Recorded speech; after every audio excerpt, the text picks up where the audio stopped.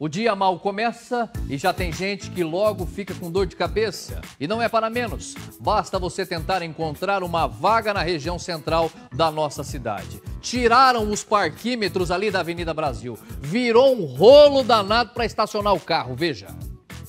Vamos percorrer este trecho da Avenida Brasil para tentar encontrar uma vaga e conseguir estacionar de primeira.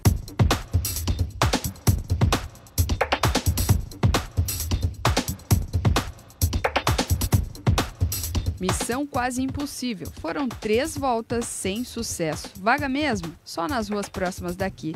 O Marcelo é, sentiu na pele. Tá muito difícil encontrar vaga assim, mais ainda nessas datas, né? E aí, como é que faz? E aí a gente fica dando volta, né? Pra conseguir aí. Com a retirada dos parquímetros desde o dia 9 de dezembro, a situação tem ficado mais complicada, porque praticamente não há fiscalização. O equipamento será substituído por um aplicativo de celular a partir de 2022. A retirada aconteceu porque, segundo a prefeitura, a manutenção era cara. Além do mais, os equipamentos constantemente eram alvos de vandalismo. De acordo com o Fostrans, quem tiver os créditos no antigo sistema não precisa se preocupar. Eles serão migrados para a plataforma atual. Já os usuários que já estão usando o novo aplicativo também podem solicitar a devolução. E quem recebeu notificação pode procurar a sede da Starf para regularizar.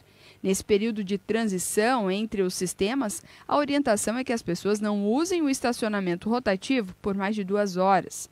Mas, na prática, é preciso paciência e sorte para encontrar as vagas. Eu cheguei cedo, então eu consegui na primeira, inédita.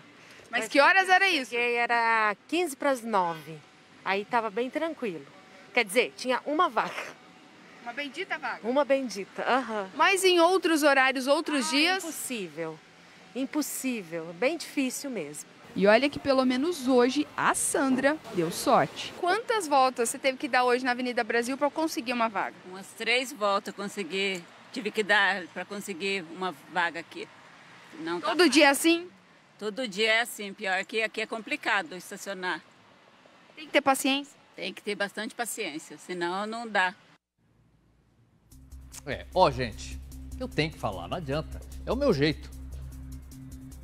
Bacana. Eu acho que o progresso é maravilhoso. Sair daquele parquímetro antigo para o aplicativo é sensacional. Isso é progresso, é evolução. Agora, não era a hora de tirar, né? Na minha opinião.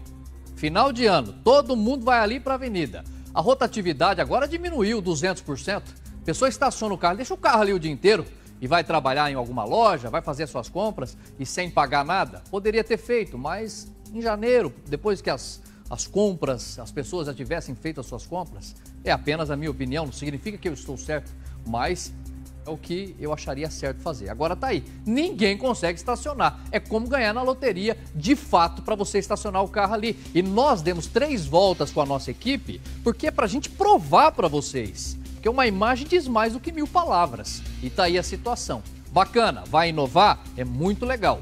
Mas eu achei que foi na época um pouco errada.